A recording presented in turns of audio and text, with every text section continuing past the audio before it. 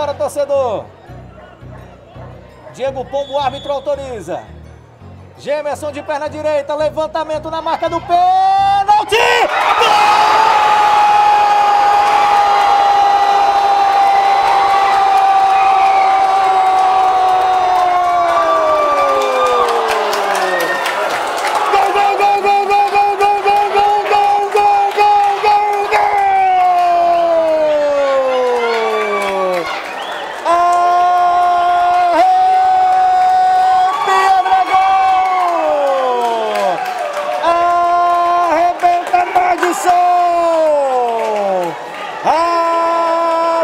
Placar na Arena Dragão. Aos 37 do segundo tempo. O goleirão que pegou o pênalti falhou. Catou borboleta. E o Matson foi lá no décimo segundo andar para abrir o marcador. E explodir de alegria o torcedor azulino. Um para o Confiança, zero para o Operário. Vitor Cardel. Pois é, né? A gente falava aqui antes da cobrança. Se não tá dando por baixo, vamos ver. Na bola parada, conseguiu mandar a bola para a equipe do Confiança através da falta.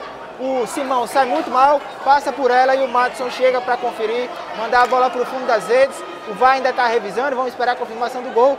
Mas que alívio, acho que não mostrou a comemoração. Mas, cara, que alívio confrontar esse gol.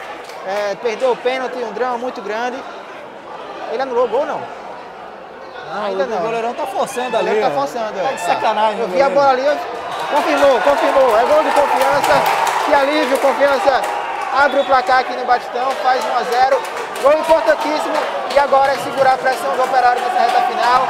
Para finalizar essa vitória que vai ser importante. Que, vai, que pode ser a virada de chave do confiança nesse campeonato. E o operário troca duas peças, hein?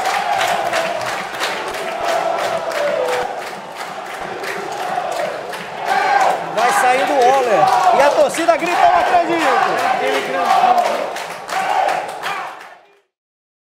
Ô de casa, das tintas? Tá precisando de mais cor? Pode deixar que a gente descomplica e agiliza o seu lado. E o melhor, envia para tudo que é canto. Casa das Tintas. Quem pinta, pinta aqui.